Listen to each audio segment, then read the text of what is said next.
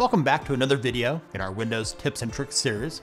Windows includes many useful features that are hidden or disabled by default that we think should be enabled when you first launch Windows. I'll be showing you the features that can be turned on for both Windows 10 and Windows 11, coming up next on Brett in Tech.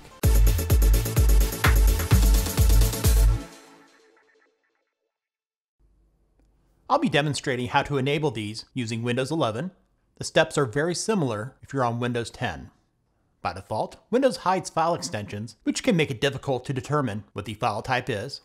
For example, when differentiating between a PNG, JPEG, or SVG for images, or M4A, a WAV file, or MP3 for audio.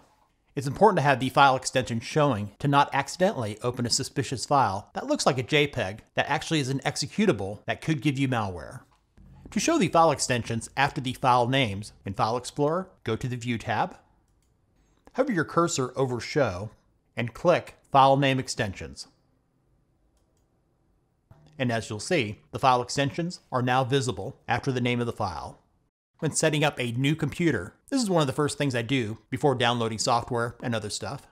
On Windows 10, if I recall correctly, you would do this by going to View, look for options in the list, select it, and you would uncheck Hide Extensions. Similar to file extensions, there are some folders and files that are hidden by default. Microsoft does this to prevent people from making accidental changes. But if you ever need to troubleshoot problems on your computer, not having them visible could make things more difficult, especially for non-power users. To make those files and folders visible in File Explorer, once again, click on View, go down to Show, and select Hidden Items. Now you can see all the files and folders that were previously hidden. The Storage Sense feature is one of those handy features that works in the background to automatically delete temporary files, empty the recycle bin, free up space, and manage OneDrive storage without you having to do anything. To turn on Storage Sense, open the Settings app. For new users, use the keyboard shortcut, pressing the Windows key plus I key. Once opened, in the left pane, click on System, then here on the right, select Storage. In Storage Management, click the toggle for Storage Sense to turn it on. Now click into Storage Sense. There's settings here you can change. I'll show you what my settings are. I keep the box checked next to Keep Windows running smoothly by automatically cleaning up temporary system and app files. In Configure Cleanup Schedules, I run Storage Sense every week. Here the choices are every day, every month, or during low free disk space, which is the default. I have it delete files in the recycle bin every 14 days. Your other choices here are never, one day, 30 days, and 60 days. I never have it delete files in the downloads folder, but you could choose anywhere from one day to 60 days. Scroll down here. In locally available cloud content, which refers to OneDrive, says here content will become online only if not open for more than. I keep it on never, but your other choices are one day up to 60 days.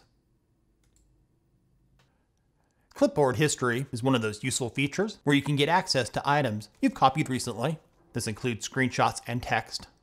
To open it, use the keyboard shortcut by pressing the Windows key and V key. Any here that you click can be pasted wherever you need it. You can also pin your favorites so they don't go away or you could clear the entire history by clicking Clear All.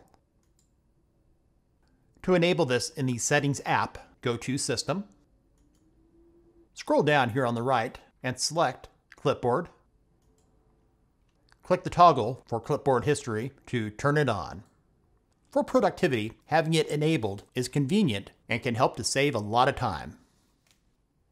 Speaking of productivity, Turning on Do Not Disturb automatically helps to keep your concentration by blocking notifications while you're working, playing a game, and duplicating your screen, for example when doing a presentation. To turn it on in Settings, select System here on the left. Then on the right, select Notifications. Click on Turn on Do Not Disturb automatically.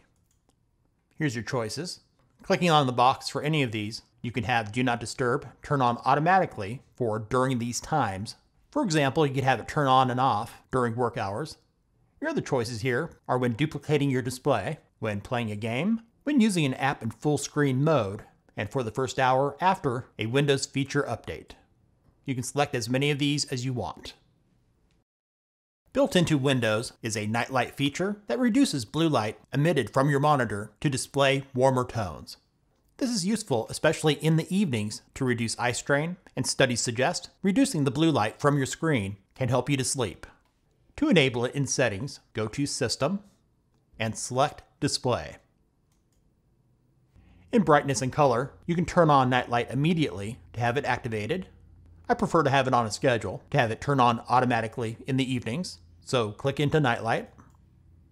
Click on the toggle to schedule nightlight.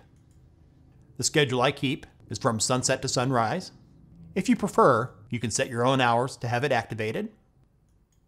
There's also a slider for you to adjust the strength of the nightlight. Screen recording software does not capture this, so you'll have to try this out on your own to see what works best for you.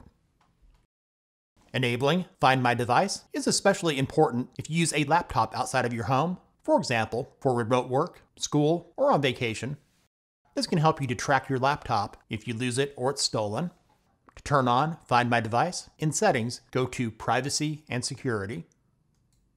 On the right, near the top, in Security, click Find My Device. Click the toggle for it to enable it. If your device ever gets lost or stolen, to locate it, you'll need to go to the Microsoft site, which is account.microsoft.com. For this to work, you'll also need to have location services turned on. So let's go back to privacy and security. Scroll down and in app permissions, select location. Location services should be turned on by default. If not, click the toggle to turn it on. Thanks for watching. If this video was useful for you, give it a thumbs up and share it with others. What features do you enable when you first launch Windows? Let us know in the comments. And if you're new to our channel and haven't done so already, subscribe and click the notification bell to not miss out on our latest videos for Windows and other tech related stuff here on Brett in Tech.